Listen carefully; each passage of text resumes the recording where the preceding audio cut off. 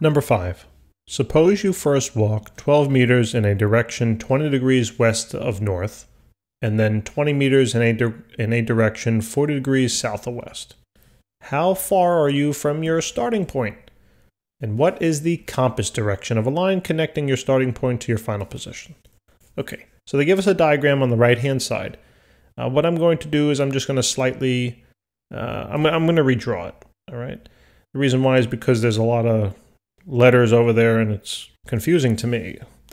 So uh, let's, let's, let's draw a, a point and let's take the first piece of information. It says, uh, it says, suppose you walk, first walk 12 meters in a direction 20 degrees west of north.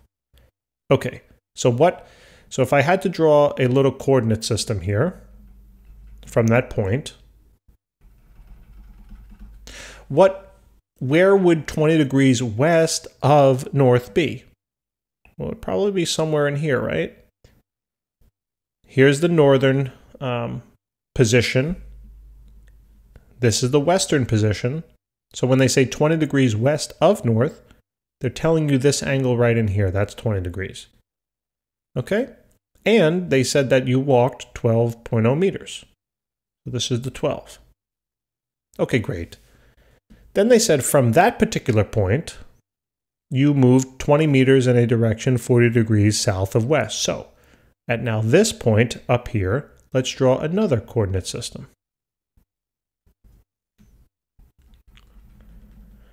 Now it says you moved in a direction 40 degrees south of west. So here's your westerly direction. Here's your southerly direction. And now you moved 40 degrees south of west. So it sounds like you probably moved somewhere in here, right? Okay, that sounds good. Now let me extend the line a little more. Okay, so this right here was 40 degrees.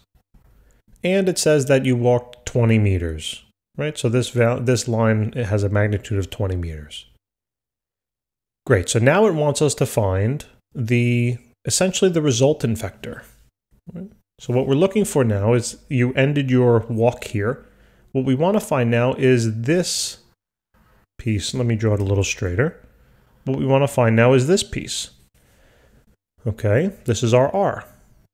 And what they want to do now is they want us to find the um, location or the compass direction, right? So it looks like it's almost going a little bit below this particular black line, right? So we might have a little angle in here somewhat, but don't worry about that for now, all right? There's actually a nice simple technique to use to, uh, to be able to figure this out. Okay, so all we need to do is this. Anytime you have a really complex, multi-directional, many vectors going on, just create a nice, uh, what I'll call a vector table. Vector table. Okay, and this is really a vector component table. So what I'm going to do for all my vectors, I'm going to calculate the x components and the y components for each. And I'm going to plug them into this table. And then all I'm going to do is just add them together. And when I add them together, I'm going to get my resultant at the bottom. And then we can do Pythagorean's theorem to find the resultant. All right. So first, let's take our uh, let's let's first work with the first sentence again. Suppose you first walk 20 meters in a direction 20 degrees west of north. Okay, so here's my coordinate system for that vector we moved 12, 20 degrees uh, west of north, and it had a value of 12. So what are the components of this vector? Well, it looks like we have a northerly component here and an easterly, excuse me, a westerly component. Instead of calling it north and uh, west, though, what we're going to do is we're going to choose the words a positive y value and a negative x value. The reason why is because I want to plug them into my vector table. Okay, so how do we calculate this value over here? Well, what we need to do is simply use some trigonometric function that relates the hypotenuse, the angle, and then this seems to be the adjacent side relative to that, to that angle. So what would that be? it looks like we would use a cosine formula, right, on the right-hand side. So this would be cosine of theta is equal to the adjacent side over the hypotenuse. Cosine of 20 degrees will equal the positive y value that I should get divided by 12. So let's do that. So cosine of 20, excuse well, let's actually get that measurement. So cosine of 20, plug that into the calculator. This works out to be, we'll do two significant figures, 0.94, and that's going to equal the positive y value over 12. To solve for the y, just cross multiply. So my positive y value here will equal 12 times 0.94. Um, two significant figures, so it will have a value of 11. Great. So this is my first value in the vector table. It's going to it's going to be, excuse me, a positive 11 meters. Okay, great. Now let's calculate the x. And let me put this part in black here. I calculate now the negative x value. So again, I know the hypotenuse, I know the angle, and this side seems to be opposite of that angle. So for this particular problem, I'm going to use the sine in order to solve for that. So now I have sine. So now I have sine of theta will equal the opposite side over the hypotenuse. So the sine of 20 will equal the negative x value over 12. So take the sine of 20. So sine of 20 is uh, 2 sig figs, so 0.34. That'll equal the negative x value over 12. And then cross multiply again. So the negative x value should be, so 0.34 times 12. And 2 sig figs, so it looks like it works out to 4.1 meters. Remember, that's negative. Okay, so now for x, plug in negative 4.1 meters in your table. Okay, we took care of that vector. Great. Now, what's the second vector in the problem? So let's reread. And then you're going to, for, and then you're moving 20 meters, 40 degrees south of west. Okay, just draw a coordinate system again. So let's draw a new coordinate system up here. So this is your starting point now. Now draw a line 40 degrees south of west. So it probably looks something like this, right? Here's the 40 degrees. And you walked 20 meters. Okay, so what are the components of this vector? Well, it looks like we have a negative x component, and if we had to go down here, we have a negative y component. So how do we solve them? Well, same process, right? We're going to be using sine, cosine, tangents, whatever we can to, to figure it out. So let's first work it doesn't matter which one, let's first work with the negative, um, let's first, yeah, let's first work with the negative x. Put it in black again. So I know the hypotenuse, I know the angle, and this side seems like it's the adjacent side relative to the angle. So we're going to be using cosine in this case. So cosine of theta will equal the adjacent side over the hypotenuse. So the cosine of 40 will equal the adjacent we said was a negative x value over um, the hypotenuse, which was 20. So find the cosine of 40. Cosine of 40 is uh, 2 sig figs 0.77 is equal to the negative x value over 20. And now just simply do a cross multiplication. So my negative x value should be uh, 20 times 0.77. 2 sig figs, so this works out to be about 15. And remember, I just got to bring the negative sign on over, so I know it's negative 15. So this is negative 15 meters. Wonderful. Now, let's do the same process, but now for my y value. Okay, my negative y value. So again, I know the hypotenuse, I know this angle, and the negative y value is opposite of that angle. So I, am going to use um, sine to help me out for this, right? So sine of an angle is equal to the opposite side of that angle um, divided by the hypotenuse. So the sine of 40 is equal to negative y over 20. So calculate the sine of 40. 2 sig figs, so it's 0.64. And that is equal to the negative y value over 20. Simply do your cross multiplication now. And your negative y value becomes 0.64 times 20 So 13. 13 meters, remember, just bring the negative sign on over. So there's now negative 13 meters. And that those are all the vectors.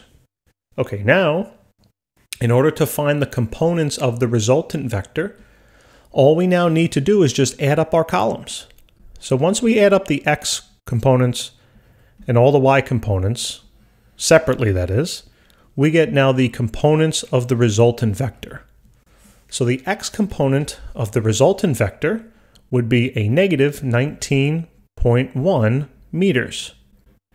Now technically when I add these values, I have to cut off that end, right? So it's really just negative 19 meters. That's the x component. Now when I add up my y uh, components, I get a value of negative, oh, where's the negative? There it is, negative 2 meters. Okay, so this is my x component of my resultant vector, and this is my y component of my resultant vector. So now what does that look like? Well, let's go to the bottom right-hand side of the screen. Let's draw a coordinate system. Let's first detail the x. So the x component of my resultant vector had a value of negative 19. So here's the start point. If I go out negative 19 meters, it would probably bring me to about there. I'll call this 19. I could label it as negative if I wanted, but I don't have to since it's now in a coordinate system. Um, if that sounds confusing, don't worry about it. I mean, it doesn't matter. You can put it in, you can leave it out. Don't don't overthink that. Then from that point, I'm going to go down 2 meters. Why? Because it says the y component is negative 2. So now I move down negative 2. Well, that's not really to scale, but let's get it a little straighter. There we go. So now I move down negative 2 meters. Okay? And now the resultant vector will be the vector that connects the starting point now to the ending point. This is the R, the dotted line. Now, if you look back to the picture, doesn't that look strikingly similar to the R value there? Yeah, it is, right? So this is a method that you can always employ in order to find your resultant vector. Just find the components of each vector separately. You don't even have to draw a detailed picture of them all together, right? So find them all separately, throw them in the vector table, add them all up, and then those, the summations of all those uh, components will give you the components of the resultant. All right? Now, you don't even need to draw a picture from here. Okay, you can even simplify this even further. You can simply simply know that one of I don't care which one you call A and B, but know that one of these one of these components will be considered your A value of the Pythagorean theorem. One of these would be considered the B value of your Pythagorean theorem. And we would just have to find then the resultant by using Pythagorean's theorem. That would be the C value. So instead of thinking about Pythagorean's theorem as a squared plus b squared equals c squared, what you can do here is you can rewrite it as, and I'm going to write it on the upper left-hand corner, you can write it this way, that the resultant vector squared will always equal the summation of all the x components squared. Okay, I should put that in parenthesis. Plus the summation of all the y components squared. That's it. Okay, then just take the square root of both sides. So to find the resultant, all you got to do is this.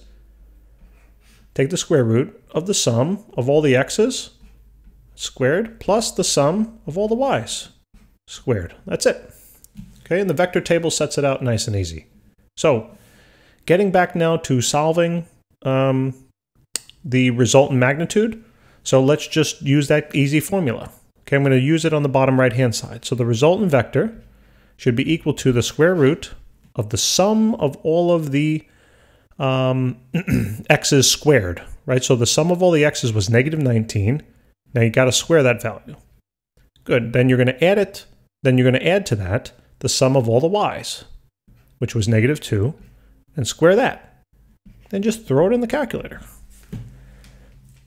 So let's take it out. So uh, square root of negative 19 squared, just make sure you use parentheses, 19 squared plus 2 squared. So we get a nice value of 19.1. 19.1 And really we should have two sig figs. I'm just going to go to three because it would essentially mean that the both lengths are the same, and that doesn't make much sense. But it's going to be slightly bigger than the, than the um, side of negative 19. So this should be in meters. Okay, so this is the resultant vector. This is the magnitude. All right.